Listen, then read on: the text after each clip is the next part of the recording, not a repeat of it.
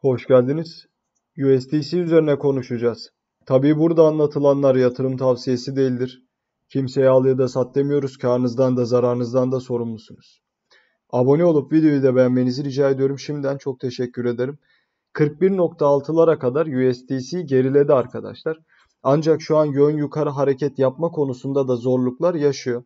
E, yön yukarı hareket gelmesini bekliyorum ancak çok tatmin edeceğini düşünmüyorum.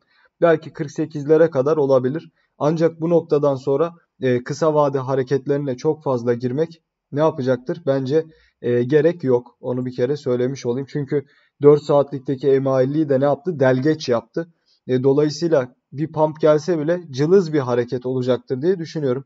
Genel itibariyle 41.6'ların da ilerleyen vakitlerde çalışmama ihtimali talebin düşüklüğü sebebiyle bu doğrultuda yüksek.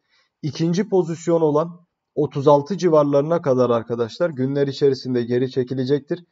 Hele haftalık kapanışa kadar 36'lara ulaşıp üzerinde durmayı başarabilirse ki bence başarabilir.